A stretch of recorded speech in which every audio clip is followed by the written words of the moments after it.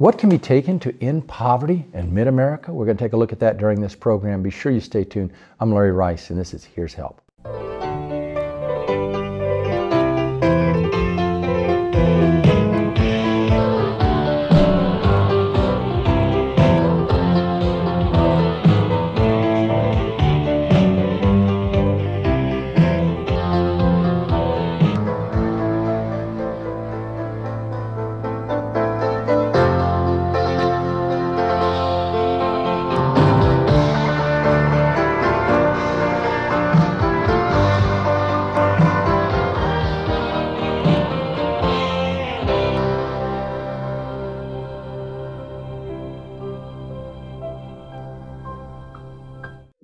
Steps need to be taken to end poverty in mid America? It seems like almost an impossible situation.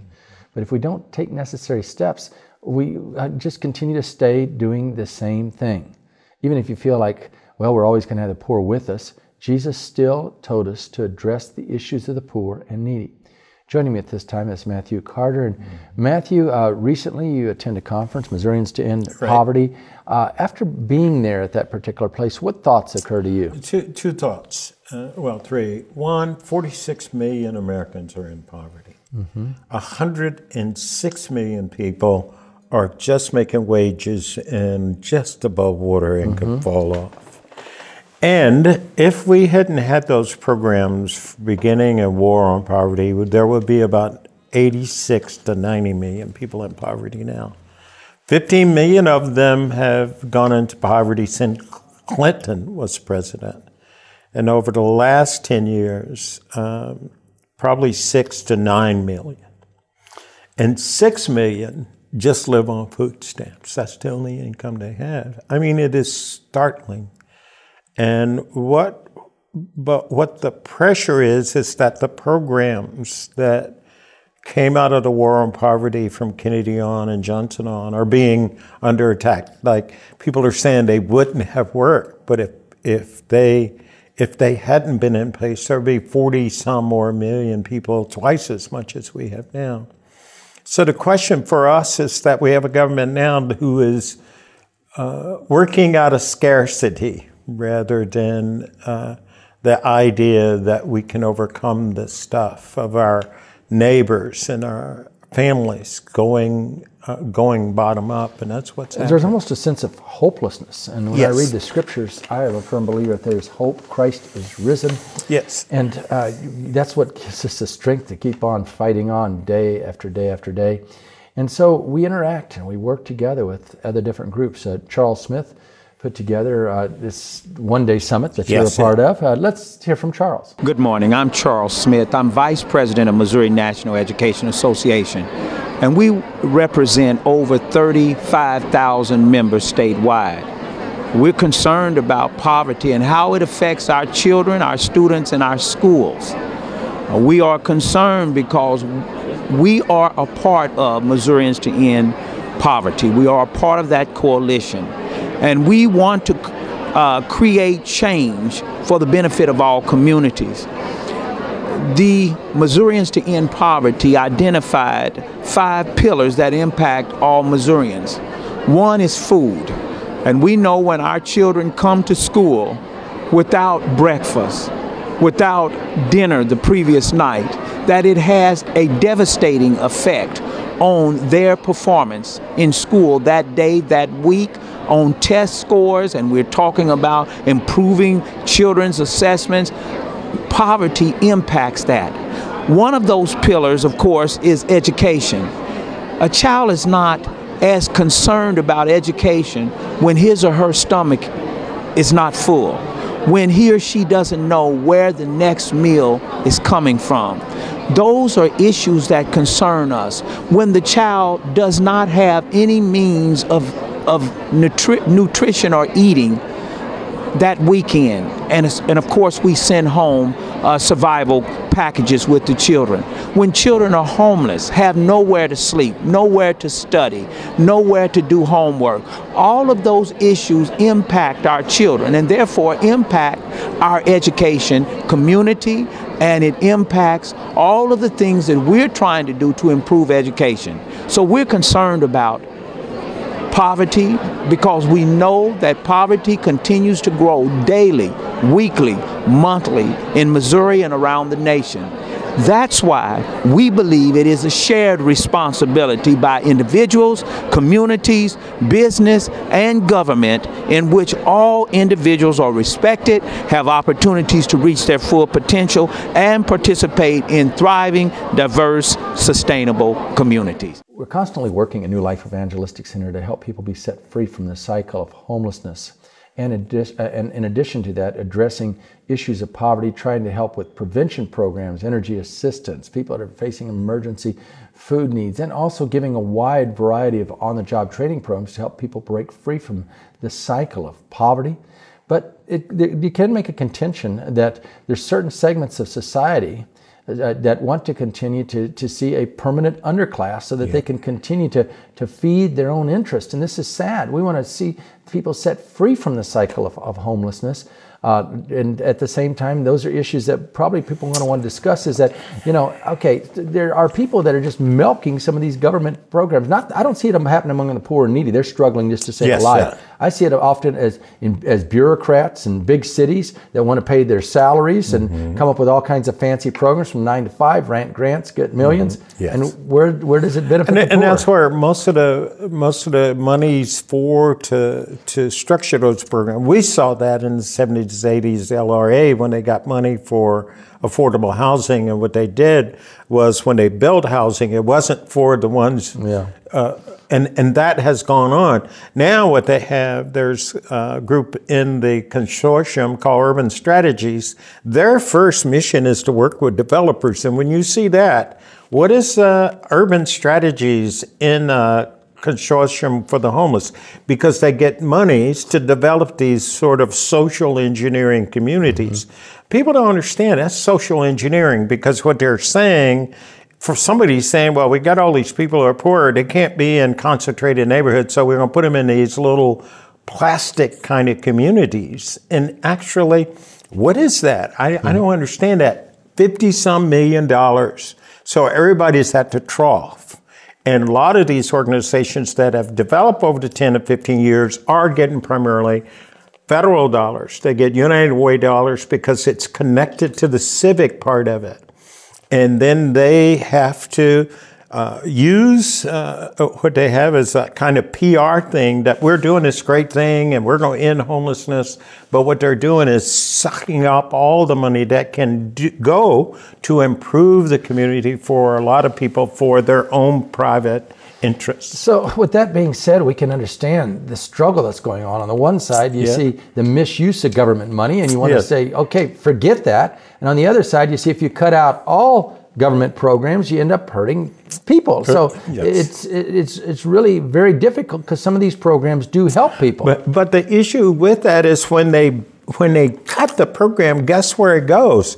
It is their friends who fund their their their campaigns. It's the corporate interest yeah. who gets to lord our money. So what they use is the money of the poor. Here it again, you reach to the poor to balance out the mess you made. Yeah.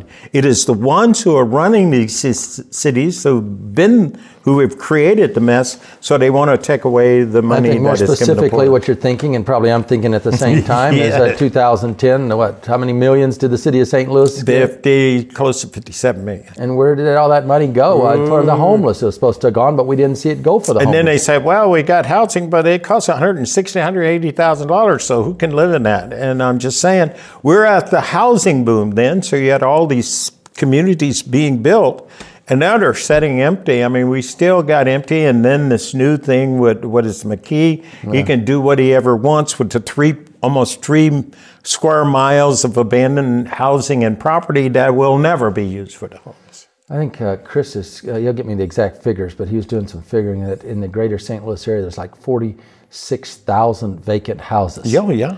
That we could almost have like two vacant houses for every homeless person. Yeah. And and as you you touched on something else earlier, then they build all these developers come in and build all this. Um, fancy housing and then they don't have anybody come and stay in it so then they want to get more money from washington and yes. then they'll say okay well we'll put the homeless in it then the developer gets eight nine hundred dollars a month and they do it for one year yes. and then the homeless person stays there for a year then they put them back out on the streets and they're in just as bad a situation as they were before. And I'm going to tell you what else is going to happen based upon this. We have a lot of homeowners who have grown up in those neighborhoods mm-hmm. for years. They're older housing. Now we know that those new to develop ones like um, McDuffie and all these little small little corporations that are getting money to build this housing are forcing those people out. They're putting them on an eminent domain, trying to take their house so they can expand their kingdom. And that's what's going. That's social engineering yes. to me. And that's what we're doing with people. We're learning now that since the 1900s, called Mapping Decline in saint Louis mm-hmm. by this book from this Iowa professor, they have their land use has been to to divide the communities. And the result of that, they're still doing it in a sophisticated, but it's social engineering now.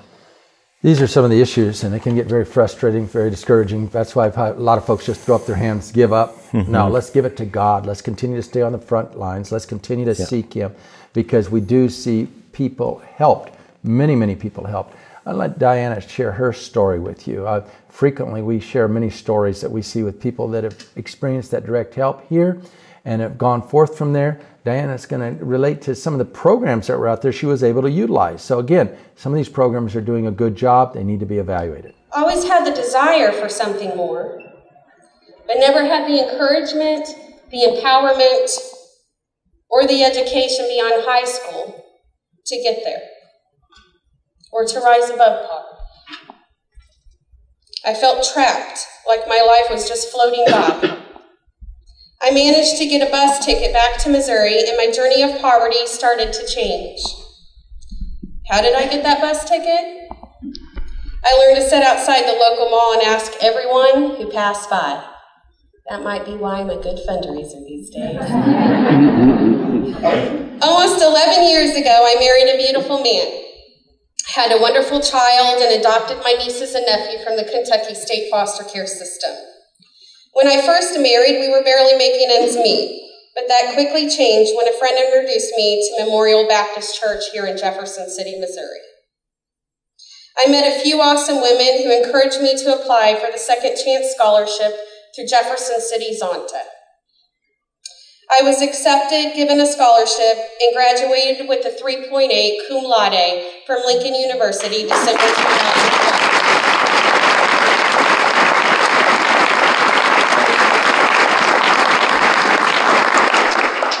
I also founded the Central Missouri Foster Care and Adoption Association over five years ago.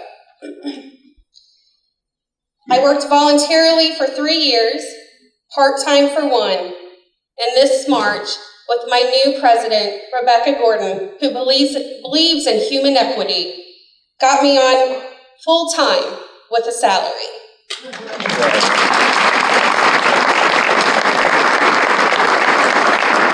I am coming out of poverty for the first time of my life. It feels good, and it keeps me fighting for those who have no voice. We have a half a million foster children in this country. A half a million. They were all our responsibilities, not just mine. Our community needs to step up, rally behind these kids, especially those who are aging out. The cycle of poverty needs to be shown to these youth that it can break. The ability to seek education, make it, and help those who are coming behind them. Our state alone has over 9,000 foster children. In central Missouri, there are over 400. Every year, 267 of those youth age out of Missouri's foster care system, and half of them become homeless, incarcerated, or dead. This is simply unacceptable. Even more, Missouri has to increase 131% to meet adequate rates for children in foster care. I made it with the encouragement of my mentors, networks of supporters, a giving and loving community, and my unshakable faith, and my beautiful family, and my CMFCA's board of directors. Paul Meyer says it best. Crystallize your goals, make a plan for achieving them, and set yourself a deadline. Then, with supreme confidence, determination, and disregard for obstacles and other people's criticisms, carry out your plan. Thank you. Diana is uh, just a testimony of how good things can come out of uh, many of the programs. And if they just slash them all, and if you support legislators, just want to slash all programs for the, the poor as they continue to leave social welfare and uh, corporate welfare, is I mean, by that corporate welfare in place, and you got the rich continue to get richer and the poor continue to get poorer. Uh, we talked about a conference you went to uh, recently, and there was a man there that wrote a book, So Rich, So Poor, and uh, he shared. Tell us a little about it. Peter Edelman uh, was one of the people who was a part of the original War on Poverty, mm-hmm. and and when they uh, when they passed the bill on welfare during the Clinton administration, he thought it was just too much of a problem. So he resigned and he wrote this book called So Rich, So Poor Why It's So Hard to End Poverty in America. Mm-hmm. And, and what he really talked about was first, without those programs, what it would have been like now if they hadn't implemented. And now what's happening is this so uh, most state and local governments now are attacking attacking those programs. At state legislatures, we're getting to increase the taxes and lower the taxes on the rich because they're the one funding, and, and we don't get that. And then they they are closing off the democratic process for us with money. Uh, we're seeing it in the elections. Mm-hmm. We have more people who left St. Louis last year than voted in the March election. There were 29,000 who left the city last year and only 22,000 voted. Well, it's actually the April general election. Yes. And then in Belleville, what was it? 5,000 people voted out of electorate of 30,000. And the mayor won by 185 oh, votes. my God. What, what le- is that saying? Less than 3,000 people voted in. Um, in Alton where they tried to keep the candidate off the ballot and he won by a write-in. And, and the issue is, is that the quiet people don't think that says something. It says something about how the influence of money and they, they got millions of dollars to win these elections and it's when they're winning everybody you see around them are got self-interest it's mm-hmm. money so here are we with a few people gaining off the poor the poverty of a nation and it, it, it seems like it keeps going away. The money keeps going up and not down. And that just reminds me of the problem uh, at the turn of the century with immigrants who left Europe. It's the same thing. You got big landowners now. When you got the gods, the gods in the city are, are hockey, baseball, baseball football, and they've got a federal one called an arch, and they just passed some. That's another god. So you gotta. What are the gods? They gotta serve those gods, and that's where everything. Even the movement of the people downtown is to move them away because we're serving these gods. In most cities, that's all they want. And what they feel now to serve those gods, they got to move people who are really against them. The religion of sports, uh, idolatry. Uh, what are some ideas as far as um, uh, ending this war on poverty at this time. They're quite complex, and we yes. welcome them. We welcome your ideas. I'd like to hear from you. Feel free to write me, Larry Rice, P.O. Box 473, St. Louis, Missouri. That's 63166. Let's go to Angela and hear hers. We need to, in earnest, wholeheartedly, with force, gusto, and determination, renew the war on poverty. And here's why. Um, Professor Edelman talked to us about the Equal Opportunity Act. I am the product of a, number of, of a number of those programs. As a small child, my mother was, hadn't finished high school and raised her children on welfare. You know, we had public assistance housing, we had good education. I, some of those programs helped fund uh, at, uh, after school programs that helped me with my educational endeavors. Um, we had breakfast programs. Later in uh, life, at uh, my teenage years, my mother was still a single parent, struggling with low wage workers and, wages.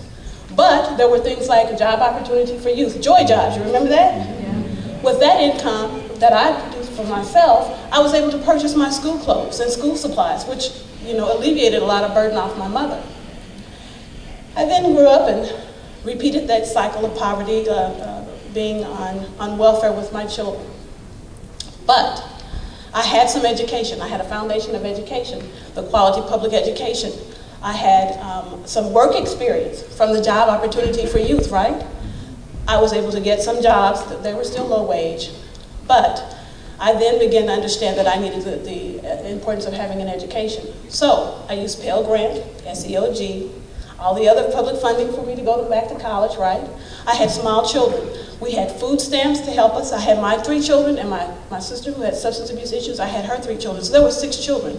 We had food stamps, we got Section 8, we had Medicaid, we got transportation allowance, we had EPSDT, we had a whole host of things, those programs that were in place, plus my little cash benefits of 342 um, to help us as I went through school.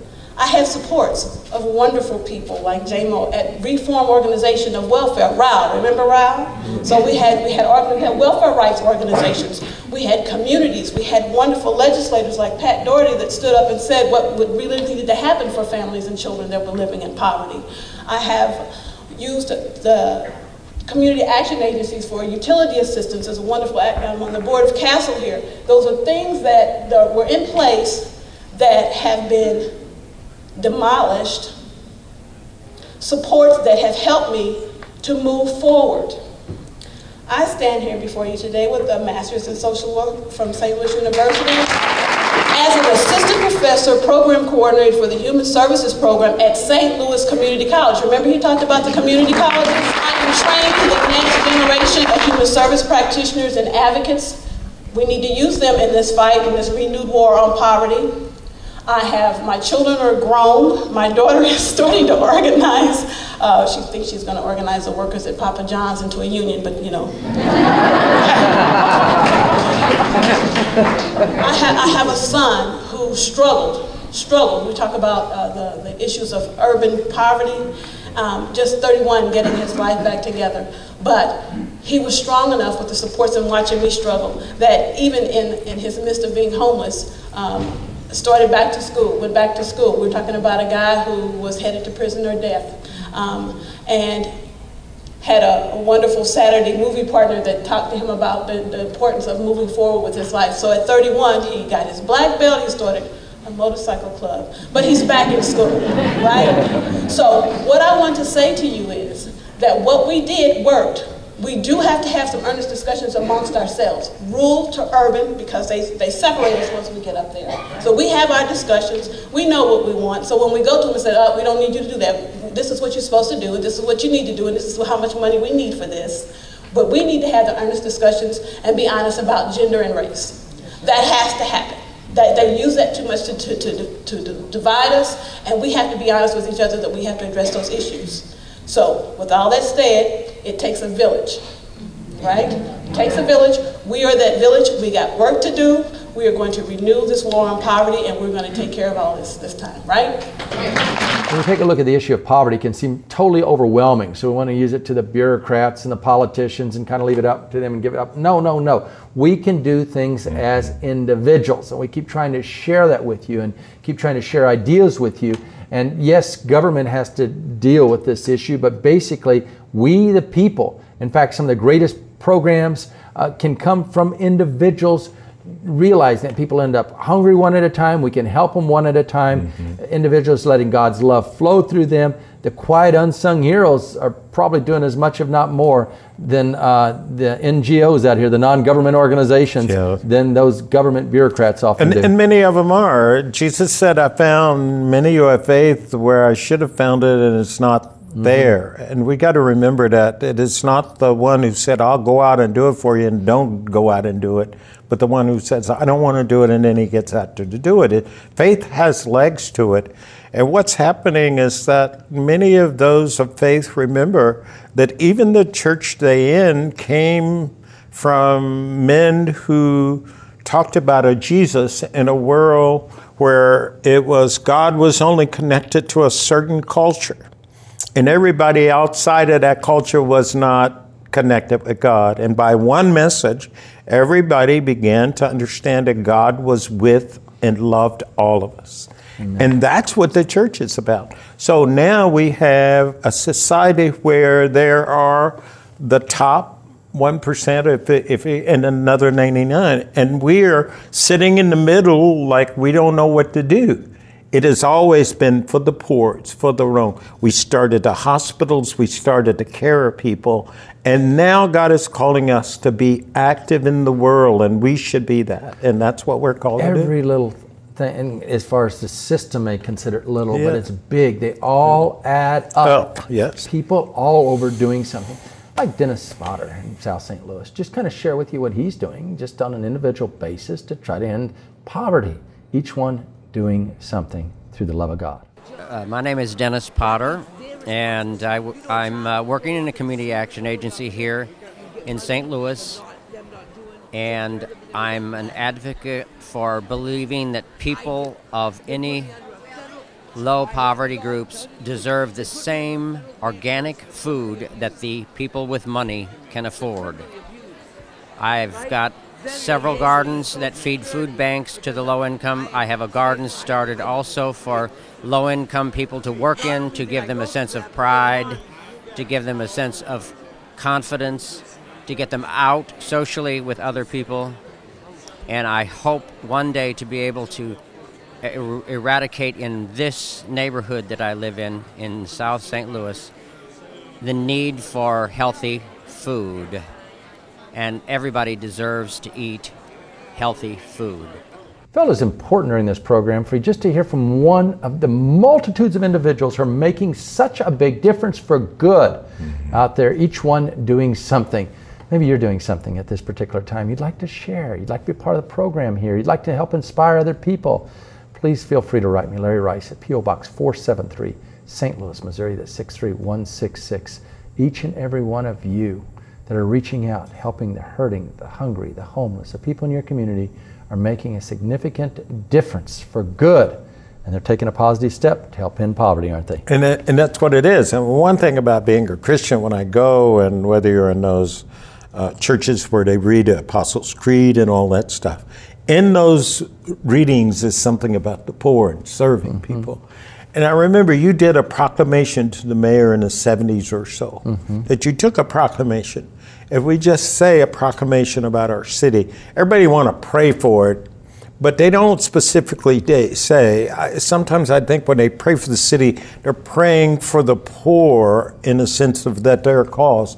We need to say we are not in right relationship with God about how we do government, how we serve the poor, and that should be the proclamation. If every church did that and lived that out, it, it would change in a day. Second Chronicles 7:14 If my people who are called by my name will turn from their wicked ways I will hear from heaven I'll heal their Yes, land.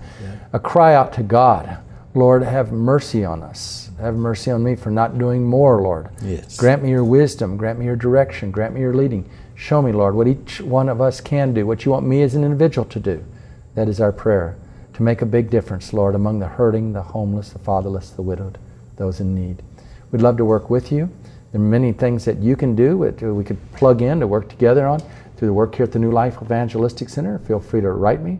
Larry Rice at P.O. Box 473, St. Louis, Missouri. That's 63166. I want to invite you to go to the website at www.newlifeevangelisticcenter.org and see all the things that you can do to make a big difference for good.